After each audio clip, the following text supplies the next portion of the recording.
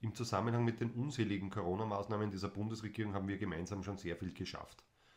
Aber genau deshalb ist es wichtig, diesen Protest fortzusetzen und genau deshalb gibt es morgen Samstag um 15 Uhr am Domplatz in St. Pölten auch eine weitere Kundgebung für Freiheit und Demokratie.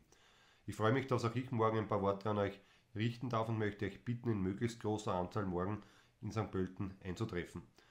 Auch wenn die Mücke jetzt weg ist, der nächste Grüne steht bereits in den Startlöchern, der nächste Grüne, dem die Ideologie wichtiger ist als das Wohl der Menschen und genau deswegen dürfen unsere Proteste nicht abreißen und wir müssen so lange weiter gegen diese Maßnahmen wie Impfpflicht, Maskenzwang und so weiter und so fort kämpfen, bis diese Regierung tatsächlich in die Knie gezwungen ist.